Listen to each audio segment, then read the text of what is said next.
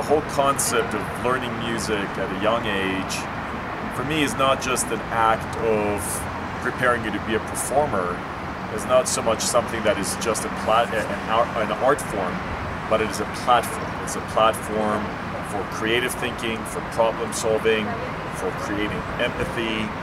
So for me, it's a foundational thing rather than something that you add later, rather than it being a luxury. There is a number of skill sets that I believe are unique to musicians that are very well cultivated among musicians, like the ability to collaborate, the ability to empathize and read an audience, to improvise, to present a concept, uh, to take different ideas and mix them up and come up with something totally new, to continuously reinvent themselves. These are mindsets that are applicable way beyond just being a performer. So my view is that music is a, a foundational uh, skill, knowledge, mindset more the more so than a, a luxury that you teach only if you have time and money to make it happen.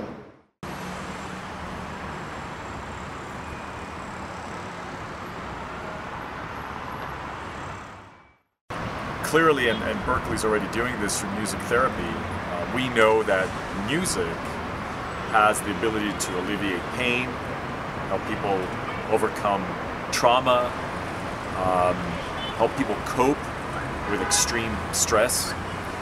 And there's a number of studies uh, that have been performed that prove this point. So just from a music therapy standpoint is one thing. The other thing that I believe is really unique to music is the fact that it creates empathy. It helps you understand people, and people understand music. It's maybe the most honest way of communication between people.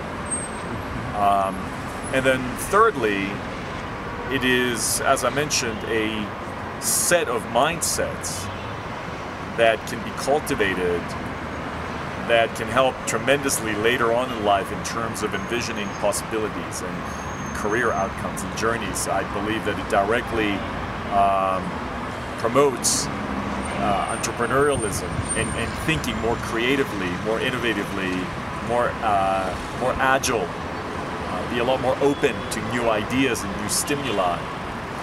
So, in terms of the question, I believe that it touches in different ways. In its more most fundamental way, music has the ability to heal and to make us, um, to help us overcome really stressful, really traumatic situations, whether it's through experiences in, in war or others.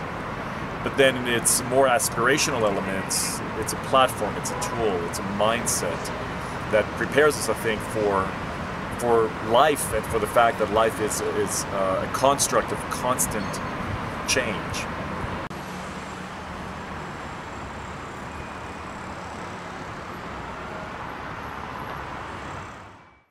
Society is changing.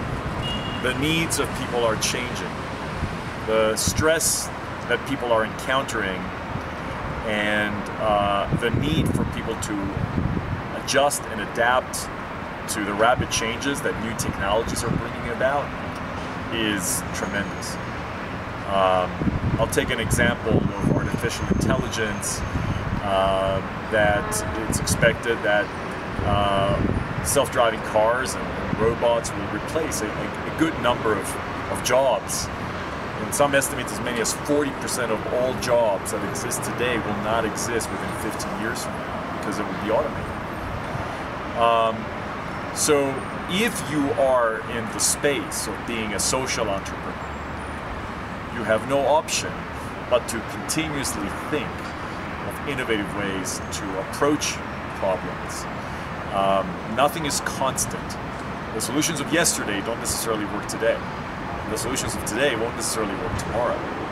So, uh, inhabiting a mindset and uh, embodying this concept that nothing is ever constant, that things are always changing, and being able to adapt, adjust, course correct, continuously uh, re- regenerate, be re- reborn as an organization, as an individual is important. If we don't learn how to be resourceful, And as social entrepreneurs, if we don't help our society and our people cope with these changes by arming them with the tools they need,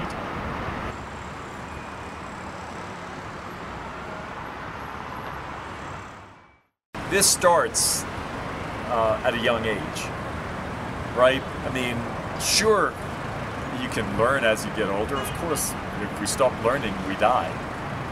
But these are the young people who will inherit this society, and they're the young people who, in many ways, will be coping with a lot of the changes that this future is bringing that I talked about. Some of them will actually be creating those changes. That's what we're hoping for, creating these solutions, finding these the answers.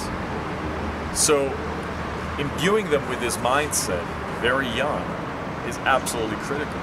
There's a lot of studies that show the big impact that music has from a uh, neurological standpoint in your brain formation. Um, that starts at a very young age, between the ages of three, four, all the way to about seven. Learning music at a young age arms you uh, with a lifelong ability to learn and take in new concepts. And that actually is not an issue of exposure, it's an issue of the way that your brain is constructed because you've learned music at a young age. It also makes you much more susceptible to learning new languages. I mean, if you learn new languages and you're able to speak more than one language like you do, you're also able to empathize with different people and understand different people because language is ultimately an expression mm-hmm. of culture. Yeah. Uh, so for me, the younger, the younger that uh, the students are, we get exposed to music and to this messaging is critical, and that's what Batuta is doing. Mm-hmm. And that's what Berklee is ultimately interested in. I don't think, again, there's something about our ability to process music, which, by the way, recently MIT scientists found that there is a separate part of our brain that processes music from the part of our brain that processes language. So developing that part enables us to be open to so many more more things. Uh, and I think this is the admirable work that the Batuta Foundation is is doing and reaching deep into the strata of society. I don't I don't believe that music exclusively belongs to any group of people. It belongs to all of us as humans. It's it's the most fundamental thing that we share as humans. We don't share a common language. We don't share many things. We don't share a common environment, but we do share music.